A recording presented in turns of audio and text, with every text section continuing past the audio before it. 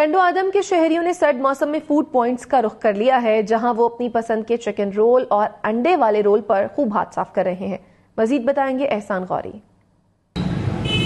हाँ जी, बिल्कुल, रात होते ही सर्दी के मौसम में जैसे ही शहरी बाहर निकलते हैं अपने दोस्त अहबाब के साथ तो अपने मुख्तलिफ़ खाने पीने के स्टालों की जानब रुख करते हैं। मैं भी इस वक्त मौजूद हूँ मोहम्मदी चौक पर, एक पराठा रोल स्टाल पर, जहाँ शहरी बड़ी तादाद में अपने दोस्तों के साथ यहाँ पर मुख्तलिफ़ चिकन रोल है, जिनमें आलू पराठा रोल है और अंडे वाला रोल खा के खासे लुत्फ अंदोज हो रहे हैं। जब अपने शहरी से बात हुई तो उनका यही कहना था कि सर्दी के मौसम में खाने पीने का अपना ही मज़ा है। जहाँ हम अपने दोस्त अहबाब के साथ अक्सर हम मुख्तलिफ़ खाने पीने के स्टाल की रुक करते हैं, मगर यहाँ रोल पराठे वाले स्टाल पर आके हम खासे इंजॉय करते हैं। जबकि यहाँ के स्टाल मालिक का भी यही कहना है कि सर्दी के मौसम में लोग ज़्यादा बड़ी तादाद में शहरी अपने बच्चों के साथ भी आते हैं और यहाँ पर अपने अपने मनपसंद यहाँ पर चिकन रोल और अंडे वाला रोल है और आलू पराठा रोल खाते हैं और खुद भी खाते हैं और अपने घर वालों के लिए पार्सल करा के लेके जाते हैं।